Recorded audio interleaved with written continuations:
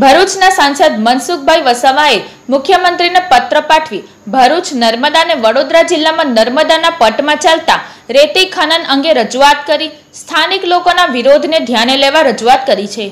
ભરૂચ, વડોદરા અને નર્મદા જિલ્લામાં નર્મદા નદીના પટમાં રેત માફિયા દ્વારા ખૂબ જ મોટા પાયે રેતી ખનનનું અભિયાન ચલાવવામાં આવે છે. તેમ જણાવી ભરૂચના સાંસદ મનસુખભાઈ વસાવાએ મુખ્યમંત્રી વિજય રૂપાણીને પત્ર પાઠવી રેતીનું ખનન કરતા રેતી માફિયાઓને અટકાવવા માટે લીઝ કેન્સલ કરવા માંગણી કરી છે. ભરૂચના સાંસદ મનસુખભાઈ વસાવાએ મુખ્યમંત્રી રૂપાણીને પાઠવેલ પત્રમાં જણાવ્યું છે કે, ભરૂચ, વડોદરા તથા નર્મદા એમ ત્રણેય જિલ્લામાં મોટા પાયે રેતી ખનન થતું હોય છે. આ વિસ્તારના રેત માફિયાઓ પોતાની વગના આધારે તાલુકા, જિલ્લા તથા રાજ્યને લેવલે આગવી ઓળખાણના કારણે આડેધડ રેતીની લીઝની મંજૂરી મેળવે છે.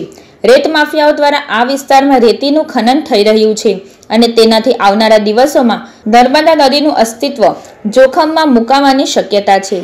રેત માફિયાઓને કારણે નદીના ઊંડાણમાંથી રેતી કાઢવાની કામગીરી કરવામાં આવતા વારંવાર નદીમાં ડૂબી જવાની ઘટનાઓ પણ બનેલ છે. આ બાબતે આપને આ અગાઉ પણ ચાર વખત લેખિત રજૂઆત કરવામાં આવેલ છે, પરંતુ મારી રજૂઆતને ધ્યાન પર ન લઈ કોઈપણ જાતની કામગીરી કરાઈ નથી.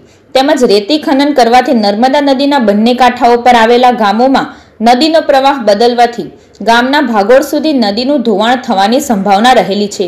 પ્રકૃતિની દ્રષ્ટિએ નર્મદા નદીના કિનારે આવેલ નદીમાં ઉછળતા નાના મોટા વૃક્ષોનું પણ ધોવાણ થઈ રહ્યું છે.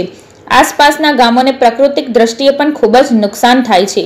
આસપાસના ગામોમાં રસ્તાઓ તૂટી જાય છે, જેના કારણે અવારનવાર અકસ્માતો સર્જાતા રહે છે. આથી રેતી માફિયાઓ દ્વારા રેતી ખનન કરતા આગામી સમયમાં નાંદોદ તાલુકાના સિસોદરા ગામમાં પાણીનો પ્રવાહ ગામ તરફ આવવાની ભીતિ છે અને આજુબાજુના ગામમાં પણ ભારે નુકસાન થવાની સંભાવના છે.